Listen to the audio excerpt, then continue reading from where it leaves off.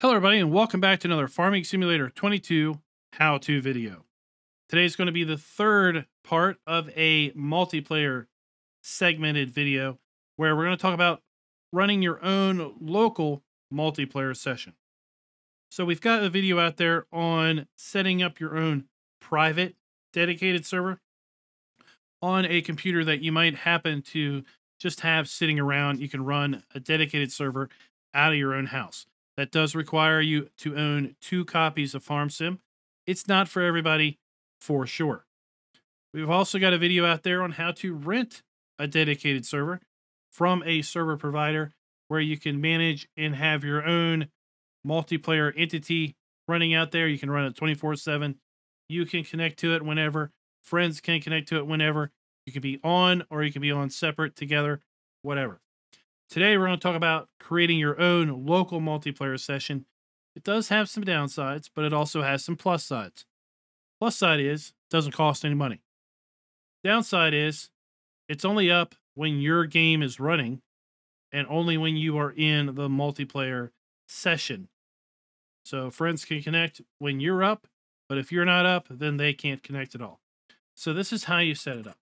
Go to multiplayer, and instead of going to join game, like you would if you're going to join a dedicated server, you're going to go to create a game. And from here, you can pick an existing game save or you can create a new game save. Now, if you create a new game save, you're going to be limited to Farm Manager or Start from Scratch. There's nothing wrong with those other than you may not want to be in Farm Manager or start from scratch, depending on the map and how it's set up. Like, for example, Elm Creek or Haut-Beyleron. When you load up those, or even Erlengrat, when you load up those maps in Farm Manager, the main farm is void of buildings. You may not want that. You may want to load in to New Farmer in your multiplayer session. And to do that, you would first create a local save game, and then you would use the existing save game, like this one right here, to host your multiplayer session. So we're going to go to our save game. From here, we can select the mods that we want enabled for our multiplayer session. Now, everyone must have all of the mods on their system to connect. So for crossplay compatibility, you're going to only need to use the mods that are available for crossplay. That's where we'd have down here, show crossplay mods only, or show all mods. And remember, the way this is, it's backwards. If it shows, if it says show all mods, then you're seeing crossplay mods only. If it says show crossplay mods only, then you're seeing all mods. Okay, it's a little bit confusing. But remember, for crossplay to work, they can only be mods from the Giants Mod Hub, and they can only be mods from the crossplay section of the Giants Mod Hub. So let's just pretend that we want to go ahead and activate all of these. So we can just hit select all like that. Continue. Now we go to this multiplayer screen where we give our server a name. We can give it a password. The password will always show up in star format so we can type out a password. We're not going to change the port. Do you want to allow crossplay or not? Yes or no. If you say no, then only PC players are going to be able to connect, or only PS4 players if you're on a PS4, or only Xbox if you're on an Xbox. If you say crossplay is on and you have allowed crossplay only mods, then a PC player, Xbox player, and a PlayStation player can all connect at the same time. Internet connection. This is where you're going to pick the one that matches your internet connection best.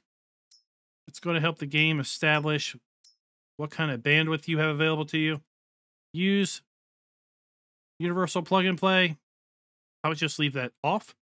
Max players, you can set it between 2 to 16 on PC. I believe that that limit may be a little bit different with respect to consoles, but I'm not sure. Auto accept off or on.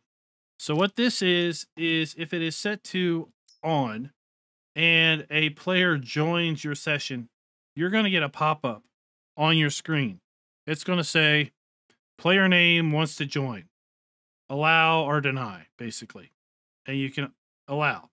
If you turn auto accept on, then they'll just join your session and you won't have to pick anything.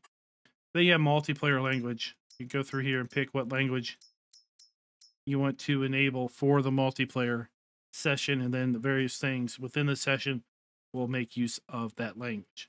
Now, the key takeaway is this only share the password with people that you want to play with on your session. I would never, ever set up a multiplayer session and have the password empty. That is, in my opinion, just asking for trouble. And then when you're done, just hit start. What it's going to do is it's going to go out there, it's going to create the multiplayer session on the Giants matchmaking servers.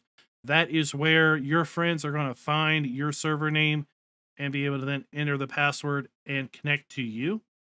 And then once it creates that session out there on the matchmaking server, it's now just loading up the map just like you would any other game save. Now that we're fully loaded in, we're going to hit start. And we have loaded our single player game as a multiplayer session. Now you may notice in the top right, we have zero dollars. That's because we have to join our farm. So we double click on our farm and now we're in. And now we have to also go up here. And we are local. We are admin of the session we are also farm manager of the session automatically. When another player joins, they're going to have to join the farm. And if you want to, you can then come into our farm management screen. It's the one with the barn and the people on it. And then you can click on their name and you can pro promote them as farm manager, or you can just give them individual permissions to do various things on your farm. if you also want, you can create another farm just by going to the farm screen, create a farm, give it a name. If you want to give it a password, you can. You don't need to. Only the people that join your server or your session can join into a farm anyway, so it doesn't really matter. Give it a color. Like that. And there you go. So now you have two farms. On PC, you can create up to eight farms. I don't know if there's a limit less than that with respect to consoles. And then if you wanted, you could have your farm and your money, another friend's farm and their money. You can buy your own land, you can buy your own vehicles, you can set up contractor status between each other. And at that point, have yourself a good old fun time. Now, the key takeaway also is to remember this is still running local on your computer. If you close the game their session ends, they can't start back up until you start another multiplayer session. And basically, you would say create game. You would find this particular save game and then start the session from there. So, guys, I hope this was helpful. And like I said, it kind of rounds out all of the multiplayer videos that we have had to date. So, we've had a video on how to set up a dedicated server and connect to it. We've had a video on how to install and configure your own private dedicated server. And then this video wraps it up with how to host your own local multiplayer session. So if you got any questions, just go ahead and put them down in the comments below. If there's any other video ideas that you might have for multiplayer how-to videos or just general Farm Sim 22 how-to videos, go ahead and put them down in the comments section below.